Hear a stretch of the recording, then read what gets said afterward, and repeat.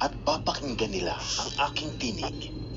Sa gayon, kakaroon ng isang kawan na may isang pastol. Dahil dito'y minamahal ako ng Ama, sapagkat iniaalay ko ang aking buhay upang ito'y kunin kong muli. Walang makakakuha ng aking buhay. Kusa ko itong ibinibigay. Mayroon akong kapangyarihang ibigay ito at mayroon akong kapangyarihang kunin itong muli. Ang utos na ito'y tinanggap ko mula sa aking ama. Dahil sa mga pananalitang ito, nagkabahabahagi muli ang mga Hudyo.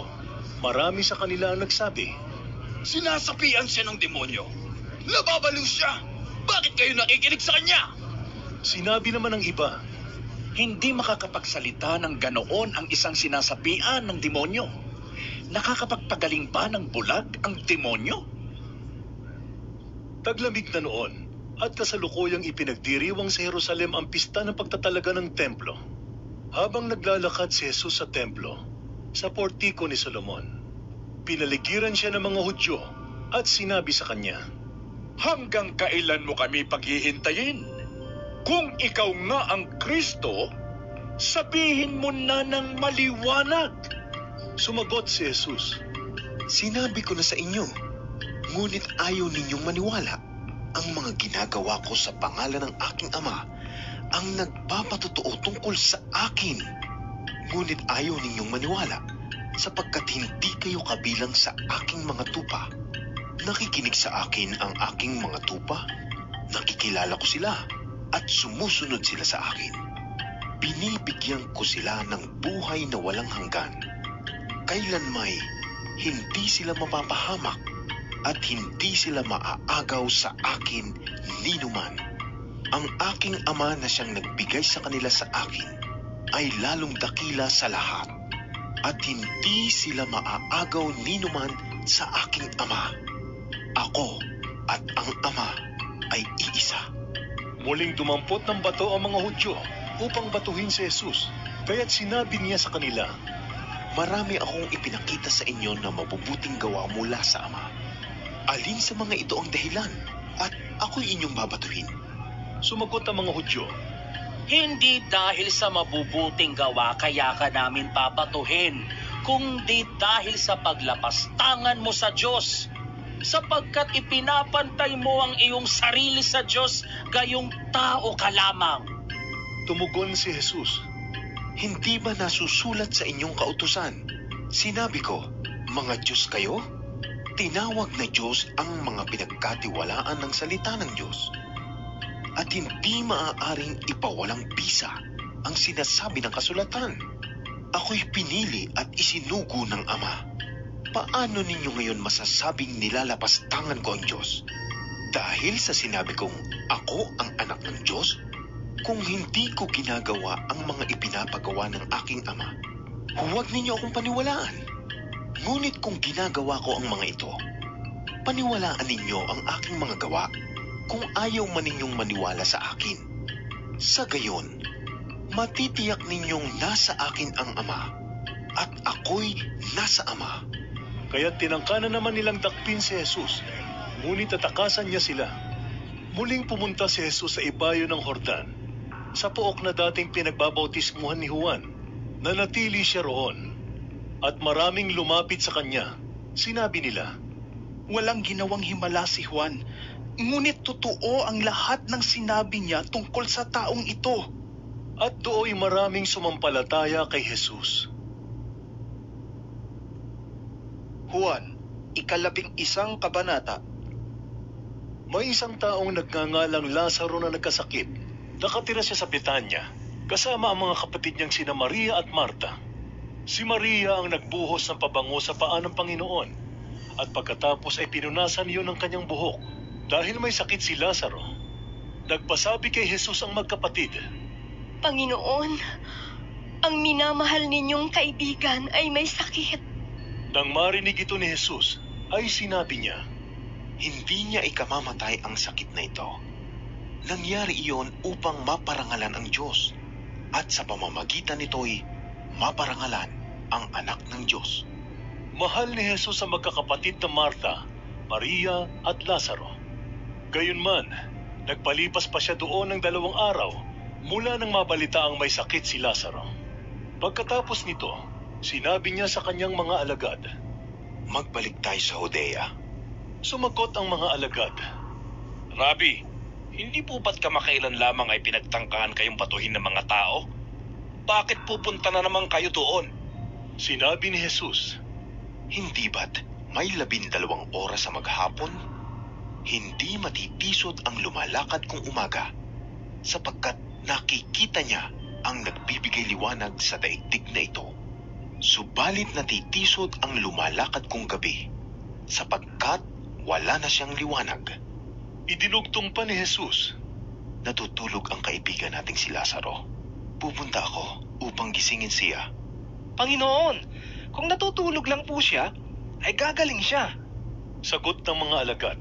Ang ibig sabihin ni Jesus ay patay na si Lazaro. Ngunit ang akala ng mga alagad ay talagang natutulog lamang ito. Dahil dito'y tuwirang sinabi ni Jesus. Patay na si Lazaro. Ngunit dahil sa inyo, ako'y nagagalak na wala ako roon.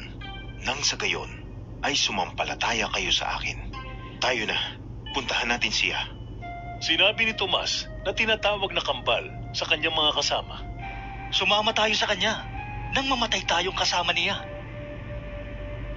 Pagdating ni Jesus, nalaman niyang apat na araw nang nakalibing si Lazaro. May tatlong kilometro lamang ang layo ng Jerusalem sa Betanya. At maraming Hudyo ang dumalaw kina Marta at Maria upang makiramay sa pagkamatay ng kanilang kapatid. Nang mabalitaan ni Marta na dumarating si Jesus, sinalubong niya ito. Ngunit si Maria na may naiwan sa bahay, sinabi ni Marta, Panginoon, kung narito po kayo, hindi sana namatay ang kapatid ko. Subalit alam kong kahit ngayon ipagkakaloob sa inyo ng Diyos ang anumang hingi ninyo sa Kanya. Muling mabubuhay ang iyong kapatid. Sabi ni Jesus, sumagot si Marta. Alam ko pong siya'y mabubuhay muli sa huling araw. Sinabi sa kanya ni Jesus, Ako ang muling pagkabuhay at ang buhay. Ang sino mang sumasampalataya sa akin, kahit mamatay, ay muling mabubuhay. At sino mang nabubuhay at sumasampalataya sa akin, ay hindi mamamatay kailanman. Naniniwala ka ba sa sinasabi ko? sumagot siya. Opo, Panginoon. Naniniwala po akong kayo ang Kristo, ang anak ng Diyos na inaasahang darating sa sanlibutan. Pagkasabi nito, umuwi si Marta. Tinawag niya si Maria at binulungan. Naririto na ang guro at ipinapatawag ka. Pagkarinig nito'y nagmadaling tumayo si Maria upang salubungin si Jesus. Wala pa si Jesus sa nayon. Naroon pa lamang siya sa lugar kung saan siya sinalubong ni Marta. Nang makitang si Maria ay nagmamadaling tumayo at lumabas, sinundan siya ng mga hudyong nakikiramay sa kanila. Akala nila'y pupunta siya sa libingan upang umiyak. Pagdating ni Maria sa kinaroroonan ni Jesus, nagpatira pa siya sa paanan nito at nagsabi, Panginoon, kung narito po lamang kayo, hindi sana namatay ang aking kapatid. Nahabag si Jesus at nabagbag ang kanyang kalooban nang makita niyang umiiyak si Maria, pati ang mga udyong kasama nito. Saan ninyo siya inilibing? Tanong ni Jesus, sumagot sila. Panginoon, hali kayo at tingnan ninyo. Tumangi si Jesus, kaya't sinabi ng mga Hudyo, Tingnan ninyo, talagang mahal na mahal niya si Lazaro. sinabi naman ng ilan, Napagaling niya ang bulag. Bakit hindi niya napigilang mamatay si Lazaro? muling nabagbag ang kalooban ni Jesus pagdating sa libingan. Ang pinaglibingan kay Lazaro ay isang yungib na natatakpan ng malaking bato. Alisin ninyo ang bato. Utos ni Jesus. Ngunit si Marta na kapatid ng namatay ay sumagot. Panginoon, nangangamoy na po siya ngayon. Apat na araw na siyang patay. Sinabi ni Jesus, Hindi ba't sinabi ko sa iyo na kung sasampalataya ka, ay makikita mo ang kaluwalhatian ng Diyos? Kaya't inalis nila ang bato. Tumingala si Jesus sa langit at sinabi, Ama, nagpapasalamat ako sa iyo sapagkat dininig mo ako at alam kong lagi mo akong dinirinig. Ngunit sinasabi ko ito dahil sa mga taong naririto upang maniwala silang ikaw ang nagsugo sa akin. Pagkasabi nito, ay sumigaw siya. Lazaro, lumabas ka!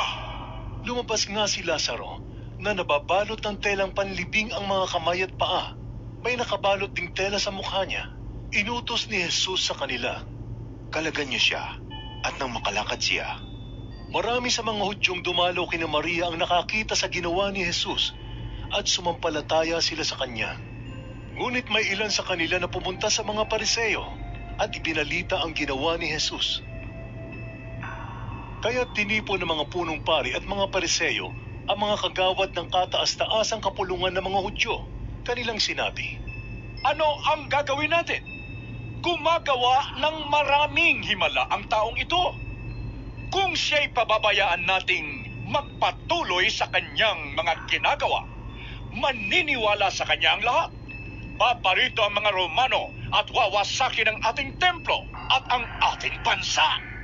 Ngunit ang isa sa kanila, si Caiphas na siyang pinakapunong pari ng taong yon, ay nagsabing, Wala kayong alam? Hindi ba ninyo naiisip na mas mabuti sa inyo na isang tao lamang ang mamatay? Alang-alang sa bayan? Kaysa mapahamak ang buong bansa? Hindi mula sa kanyang sarili ang sinabi niyang ito. Bilang pinakapunong pari ng taong yon, nagpahayag siya ng propesiya na dapat mamatay si Jesus alang-alang sa bansa, kundi upang tipunin ang mga anak ng Diyos na nasa iba't ibang dako.